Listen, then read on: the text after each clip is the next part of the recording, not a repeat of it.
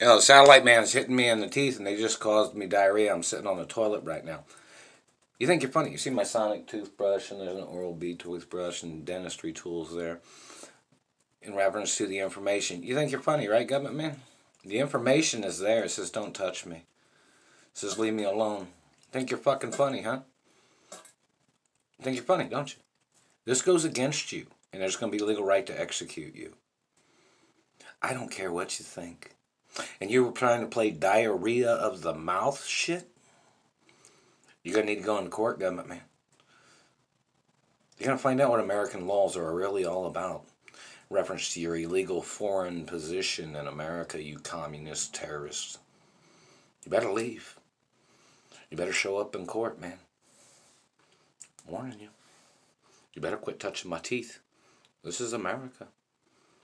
Don't forget what person owns the White House. Do you know which person owns the White House, government man?